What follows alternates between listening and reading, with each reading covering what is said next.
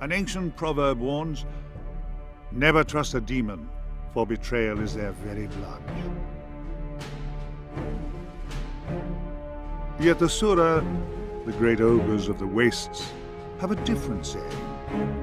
A demon honors its pact.